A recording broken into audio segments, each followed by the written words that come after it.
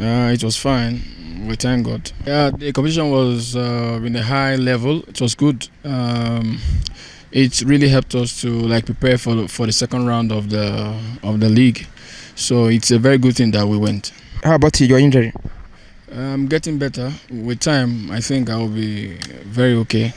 Uh, You will be able to play the match against the AS Kigali in uh, this uh, midweek.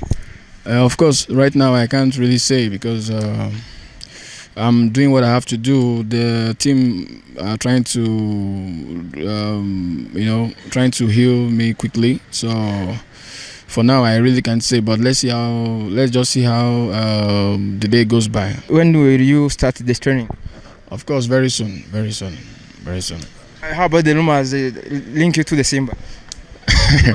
No, for now, I, I I really don't know anything. Honestly, I can't talk about anything now. Honestly. All right. Thank you.